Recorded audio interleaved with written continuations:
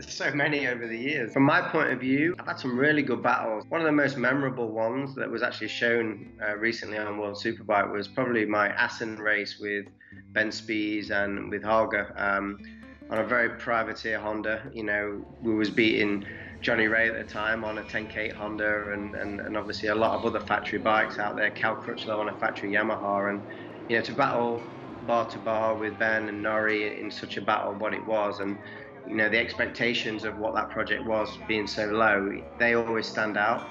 Uh, when you get on a bike that's you expected to win and, and you do win, it's more of a relief that you have, you know, rather than the other way around. And probably my other memory from my point of view will be my first ever win with Alstare uh, at Phillip Island. For me, that will always, you know, be a really good memory and uh, you know definitely one that I'll remember for a long time.